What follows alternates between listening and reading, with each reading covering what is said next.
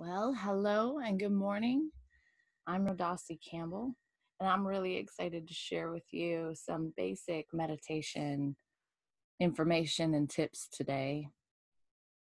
Uh, so many people on the planet right now are, are actually interested in meditation, mindfulness, consciousness, conscious awakening. And I'm a big geek about the whole conscious awakening thing but today I'm going to do my best to kind of keep this really practical and really simple for folks who have never meditated or who've dabbled on YouTube or with apps, trying it on your own, and to just give you a little, hopefully, um, boost, you know, because one of the biggest complaints I hear from people who think that they can't meditate um, is that they are having too many thoughts or that they tried it but it's not working. And the whole problem with that is that they they think they've they've they've heard they've seen the billboards the posters that say clear your mind let your mind be still. And when a person has like a hundred thousand thoughts in a day, I think that was the latest research that humans have about a hundred thousand thoughts every day. You guys, how are you to stop that? How are you to get yourself to a place where you're not having any thoughts? If what we're typically having is a hundred thousand thoughts a day. Um, it's insane. And after having been a student and a teacher and a trainer of meditation for almost two decades now, I I want to encourage you to really understand this basic very important first thing thoughts are okay. You are a human being, and the mind is here to think, it just thinks. Now, if that's making your um, your brain cells explode or you're having a difficult time understanding what a, what well then what is meditation uh, let let's just talk about the opposite of what if i'm not trying to control thoughts then what am i doing? If i'm allowing thoughts to come and go as they will as they wish then what? Well we are able to focus the mind right? When you're super engrossed in work in creation in someone you're enjoying spending your time with um, you it's very easy to be very focused, very attentive, right? To just be super attentive to what is, what you're doing, what's being presented. And meditation's a bit like that. You aren't always going to want to do it. You aren't going to always want to um, kind of be welcoming of what the experience is while you're in there but as you do it more and more, it will be easier and easier for you to recognize just how much your preferences, your comfort level, are irrelevant compared to the peace that's available to you, compared to the results of getting your eyes closed on a consistent basis. Let me ask you something. First of all, I'm going to keep telling you that thoughts are okay through this short little share because I've needed to hear that 500 million times from my own teacher and teachers, uh, peers, and mentors over the years because certain subject matter in our lives is too exquisite for us to let go. It's too juicy. It seems just too important for us to let go. So you'll need reminders, and I'll be here, and others will be around for you to hopefully be reminded. All right, so let me ask you something. If you could have any one thing, like the ultimate inner experience, let's say, not necessarily outer, what would that be? Would it be peace of mind? Would it be love? Would it be a sense of freedom to be able to feel comfortable in your own skin no matter where you are? I can relate to wanting all of those things, and I can tell you that I've heard thousands of people say that they want those things and find them through meditation. They've found that they can, I've found that I can take my attention off from the movement of my mind, off from the preferences and the judgments and the lack and the limitations, and shift it back to the within, to the center of self, to the present moment. And then all of a sudden, there's this sense of purpose and a sense of fulfillment sense of rightness, a comfort, a contentment, a familiarity. There's spaciousness. And initially, I didn't recognize that spaciousness to be peace. I didn't recognize it to be a big old bath of love. But very much that's my experience now.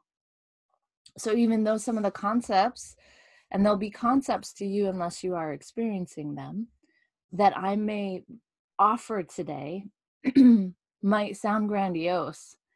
It all comes back to the fundamental foundation of an effective practice that allows you to bring attention back within, back within, back within, over and over and over again, so that the space starts to become more and more familiar, more and more familiar to you.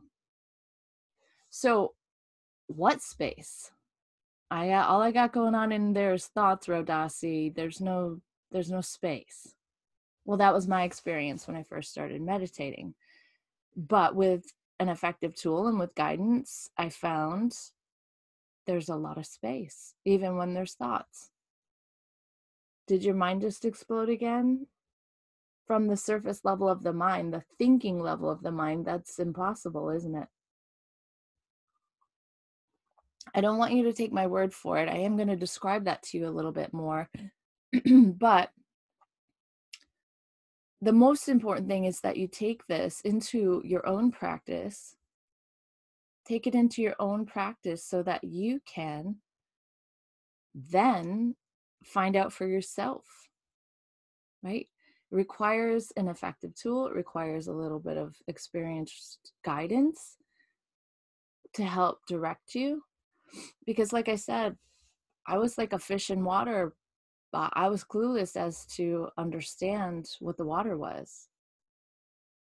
So here's the thing we're all existing within some space right can you be aware of the space that you're existing within right now like maybe you're inside a car maybe you're at work maybe you're in your bedroom wherever you are there's space surrounding you you are existing within and taking up a certain amount of space. And there's objects within the space, there's air within the space.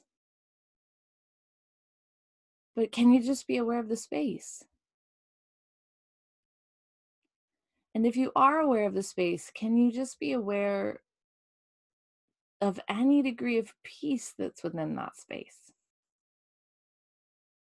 Is there a quality of peace within your experience right now? It's really funny sometimes doing exercises like this if you're if you're not getting this it's okay. If you are great, let me know either way. Uh for real. Leave a comment, share. I'm I'm totally lost or yeah i'm with you okay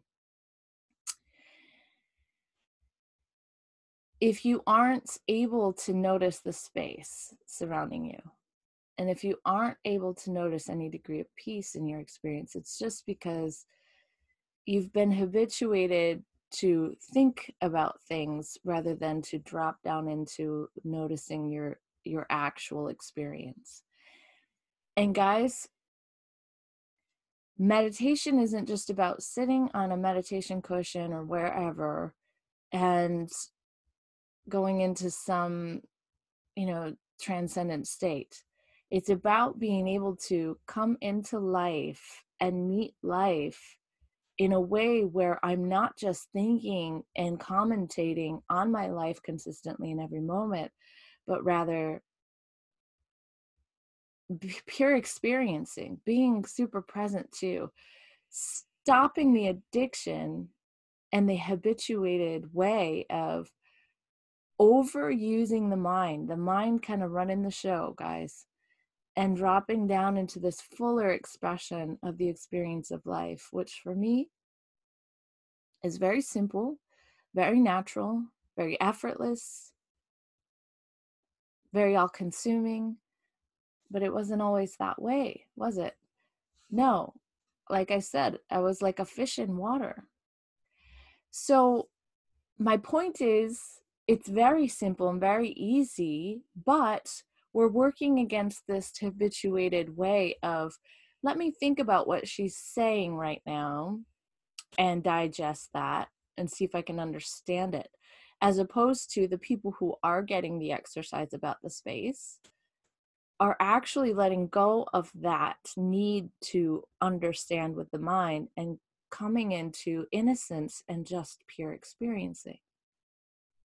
So, n- n- not good, bad, otherwise, just is what it is. And some folks are supremely dependent upon having to understand everything before they will relax enough into the experience. That's okay. That's okay. This is why we have meditation tools. So here's another exercise right here with eyes open. Can you be aware of your breath? And if you can, whether you're breathing with eyes, excuse me, with through your nose or through your mouth, just notice right now if you're breathing in or out, and then continue to watch. Notice every little part of the breath as it turns from an inhalation to an exhalation. As the exhalation ends, the inhalation begins again. Can you stay that attentive, that focused? Sometimes so sometimes it takes a really good why, doesn't it? Why am I doing this? What is this going to give me? What will I get from this? And we're a culture of extreme need to have instant gratification, aren't we? I'm going to tell you that every time you take your attention to the spaciousness, to the degree of peace you can notice, to a meditative tool, to the breath, you are interrupting your normal mode of operation and this addiction to having to think everything through as opposed to being really present to and allowing for the experience of your life to be really juicy and alive and easier more graceful to to miss that is a tragedy isn't it everybody's waiting for some other moment when I retire, when my kids are grown, when I feel better, when my circumstances change somehow, then maybe I'll put my attention on the breath because I'll have time. but you're living right now, aren't you? You have right now, and you only ever have right now. The next moment and tomorrow and the next year is not guaranteed for you, is it? but you have this moment. So, what is your why? Why would you even be looking into meditation? Why would you even be attempting? Well let's go back to your why for your heart's greatest desire like if you could have anything if it's love peace of mind freedom inner freedom to to just be comfortable in your own skin. So if those are the things that you are wanting if you're not you know if if it's something else let me know what that is. If you're not interested in those things you're probably in the wrong place but if you are interested in those things a meditative tool and especially one that will allow you to play with your eyes open as well as closed is essential because there's I don't think there's anything else that exists in our world that can take you from the 10% thinking level of the mind into a deep level of restful alertness. Abraham Maslow called that the peak experience. And it's an experience that we've all had in this life, haven't we? And we all want to get back there. So, where there's not really a sense of me or time and space, not a need to have anything changed about the experience. And most of those peak experiences were pretty intense, contrasting. Well, I'm going to tell you that take the intensity and the contrast out of the experience, and you can have that all the time you can have it at least a lot more of the time than you're having it now. How's that sound? Probably when I was sitting where you are right now, I I would have been hopeful and angry. I would have been like, yeah, yeah, yeah. And there would have been my subconscious programming would have been like, this isn't possible for me. I'm too busy. I'm too broken. I got too much going on. I have too much pain. You know, um, whatever the story is, most people, I'm too busy is like the main thing. Some of us also feel really broken. I don't anymore, but I sure as heck did. and don't let that voice that subconscious voice stop you from trying. How are you ever going to know if you don't try? How are you ever going to know if you can have a lot more magic, peace, contentment, being comfortable in your own skin, love, like real, unconditional, real, sustainable experiences of these things? How are you going to know if you don't ever try? So don't take my word for it. So, the science says that meditation helps us to rewire the brain. We stop eliciting so many stress hormones. And you know what? Our stress hormones don't even just come because of what's happening in front of us right now not just from so much work or the kids or you know relationship issues or body stuff. No. A lot of the stress hormones actually come because of the stories and thinking the rehashing of the past the obsessing over the future so what if you can shift that by just just interrupting that just stopping it right in one moment to come back, put attention on the breath. Well, that's what happens. And so you interrupt the flow of stress hormone into your nervous system. And given time, especially when you get your eyes closed, you give yourself the opportunity to also allow for some really delicious happy hormones to start to come through dopamine and serotonin and this bath starts to flood through your nervous system and the, the chemical soup in your body changes. If you do it consistently well your chemical soup starts to be pretty consistently with the happy hormones. And that's no mistake that you start to feel more on purpose, more in alignment, more synchronistic, more in comfortable in your own skin, more peace. the ability to give and receive love. M- mistake? Coincidence? I don't think so, right? Um, so if that's not enough for you, it it can help improve sleep or at least give you something to do when you wake up in the middle of the night and your mind is racing. It can allow for your nervous system to come into a better state of homeostasis as far as the heart, you know, blood pressure. Of course, it evens out anxiety and depression stuff, right? Which I struggled with crazy as a young woman. Intense experiences. The rewiring of the brain, allowing for new synapses, for greater creativity, greater effectiveness, efficiency, you know, organization, intuition,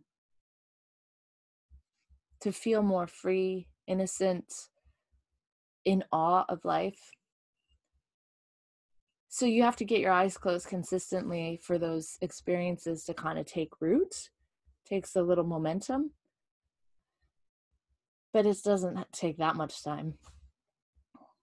And again, a good tool and some good guidance are useful a third thing I would recommend is for you to find others who are doing the same thing because it expands the experience and supports you in you know holding yourself accountable to take the action which would be to meditate and to play with open-eyed technique hopefully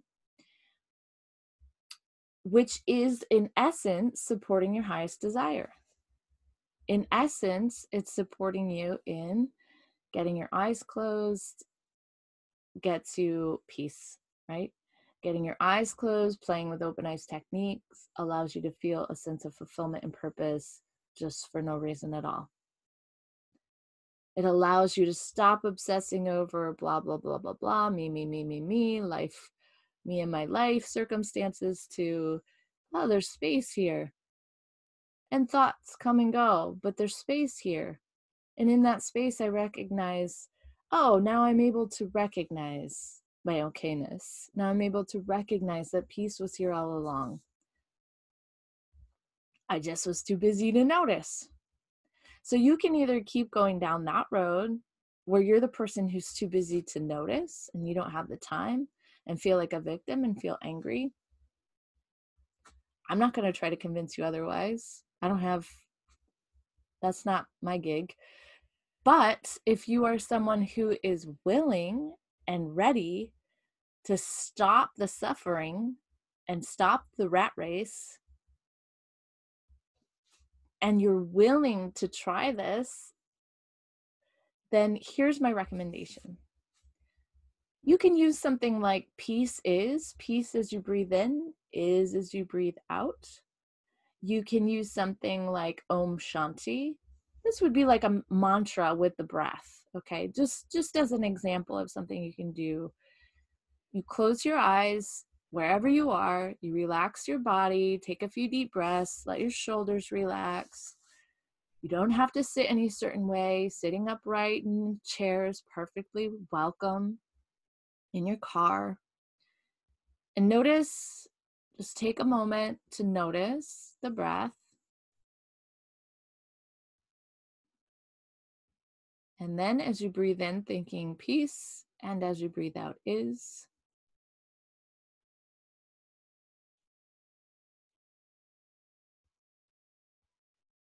And then you can begin to just see is there any degree of peace here?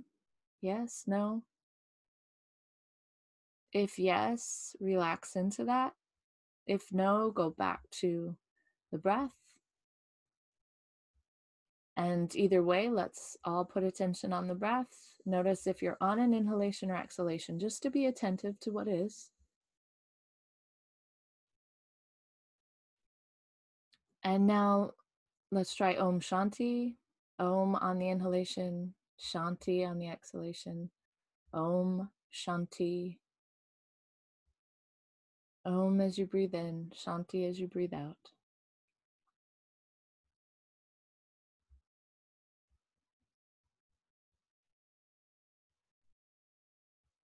Can you notice that your body is being held by gravity right here?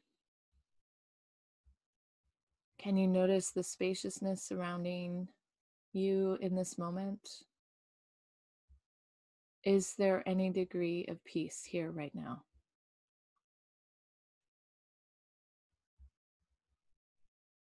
And if you notice that, great. And if you don't, no problem. Put attention now back on the breath.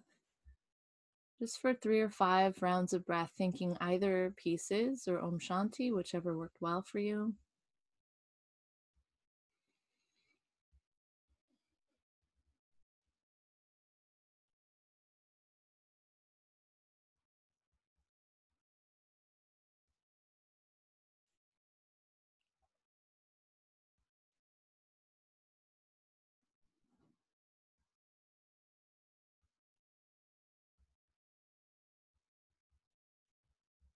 The mind may become distracted during practice, and it often will, especially for a while at first.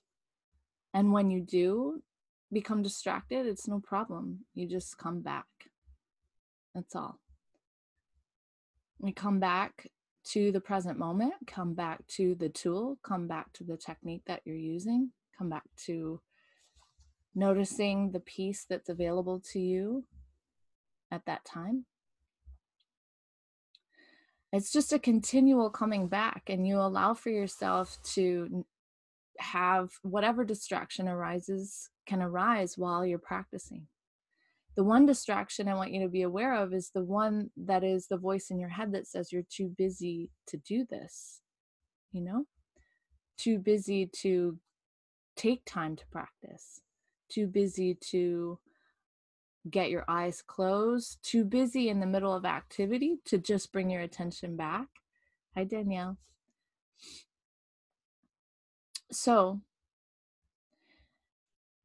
that's the one I want you to be aware of, you know, because if you, what you are desiring is for you to know peace, love, a sense of fulfillment and connection, a sense of comfort in your own body and life, a sense of clarity and you know um, all of those things that could be your heart's greatest desire that seem like they're far away from you well they're really right here. And you're just too busy thinking about everything else to notice. That's it. So with a tool that allows for you to come back again it's more sustainable if you close your eyes every day consistently. The consistency helps to change the wiring and the chemical soup in the body. If you stop practicing, inevitably the chemical soup will go back to the stress hormones. The wiring in the brain will go back to whatever your normal MO was. The good news is, is that you always have just right now to make that shift. I know it's not always comfortable to get yourself to sit down and close your eyes because most of us don't want to sit down with ourselves and our thoughts and our feelings and the discomfort and all of that intense energy. But you get used to it.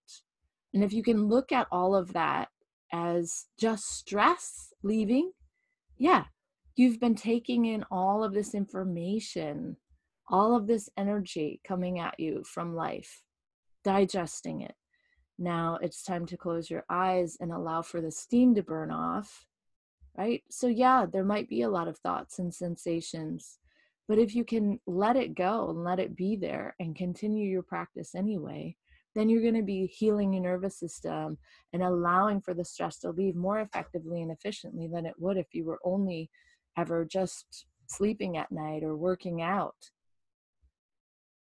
So, my encouragement is for you to make a commitment today to set a calendar schedule for when you're going to practice, recommending 10 to 20 minutes every day. And you can do that if you can get that 20 minutes in uh, before breakfast, in the middle of your day, before dinner, wherever it is. Um, if you can only do 10 minutes, fine Set the timer on your phone with a lovely chime. Use something like the Insight timer, you know, and just do it. Find an effective tool if you don't have one already. Uh, the practice I have is the Bright Path Ishaya's Ascension. Thebrightpath.com is where you can go to look up what those techniques are about and how to learn them. I also have a free uh, how to meditate course at www.rodasicampbell.com, which is chock full of not only closed eyed practice, but open eyed practice techniques and support and inspiration.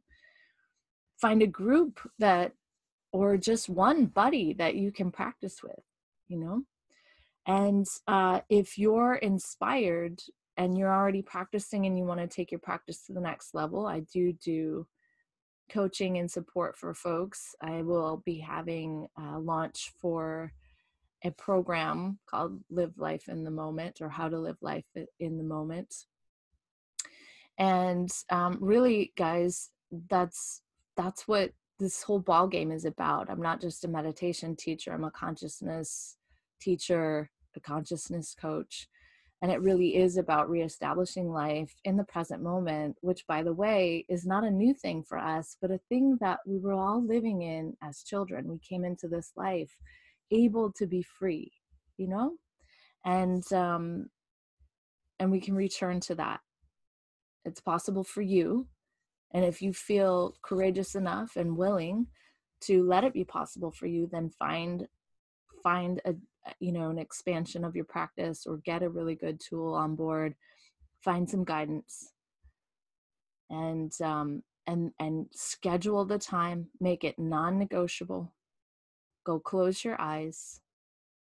Find some tools you can play with with your eyes open. I just gave you some you know noticing the space around you putting your attention on your breath.